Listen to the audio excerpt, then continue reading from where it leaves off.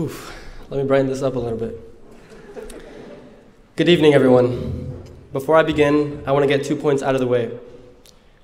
First, thank you all for taking the time to come out here and address and listen to our stories. I truly appreciate the amount of support and attention that this important circumstance is, is receiving. Second thing I want to make clear is that Elon Musk is definitely a relative of mine. Okay, David? Leave me alone. All right, let's jump right into it then. As some of you may know, my name is Saul Rascon Salazar. I am a dreamer. I came to the United States with my family in August of 2006 when I was five years old, and this is where figuratively my life began. My parents enrolled me in a Catholic school named St. Matthew's, and I attended kindergarten through eighth grade there. I've only been to two schools in my life Brophy and St. Matthew's. These two places have shaped me who I am as a person.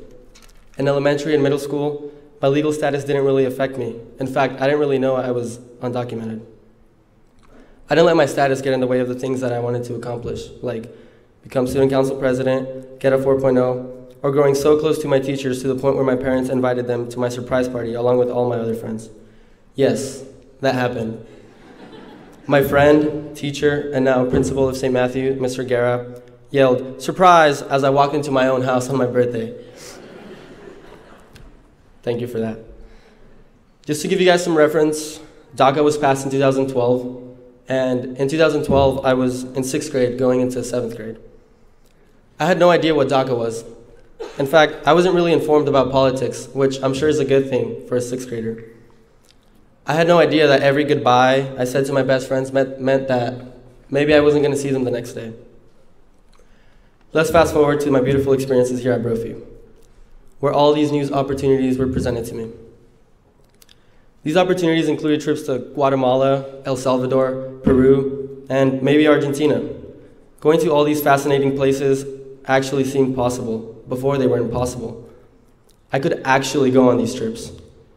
Then reality hit me, and I couldn't hit it back. All of those doors were slammed in my face.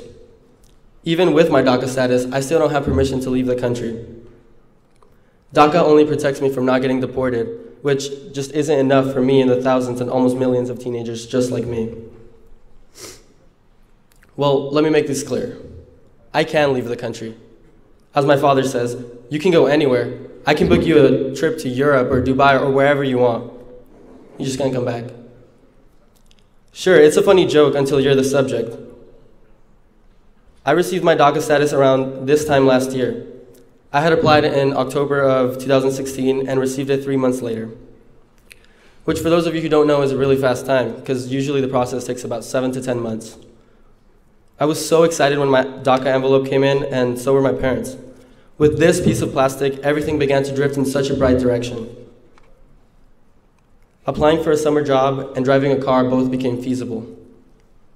That very same summer after receiving my DACA, I was accepted slash hired into the U-Haul paid internship program that is offered by Brophy. Out of the four interns that were chosen, I was the only junior. The rest were seniors. This made me feel proud of myself because I felt like I was putting my piece of plastic to great use. Other benefits that I began to experience were those of safety and assurance. I felt safe and comfortable enough to fly on an airplane without carrying paranoia with me.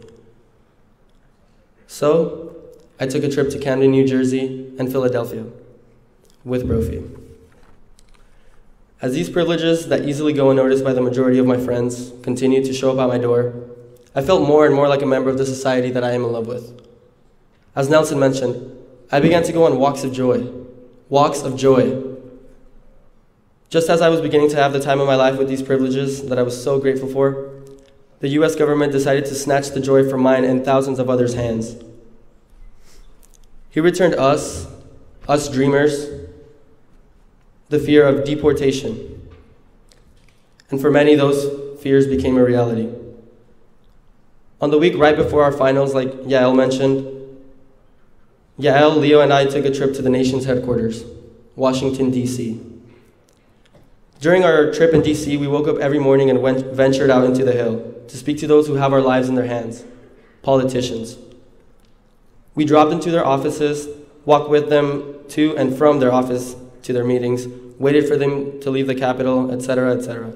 We did everything possible to, do, to find out what the heck was up with the government's way of dealing with DACA and the DREAM Act. After the first couple of days, we got the hang of how things rolled in Capitol Hill. We really got a feel for how politicians, whether they were senators or representatives, reacted to our physical presence and their sense of urgency towards a DREAM Act. Some politicians wanted to truly help and they expressed that they were trying, while some politicians said that, they should, that we should stay away from them because they were talking to us more than they would like to. Yes, a representative of the United States said that to a 16 year old boy who was asking for a conversation about his future. In our DC trip with, in our DC trip with Aliento Arizona, which is back there, we learned a lot about how the gears turn in our government.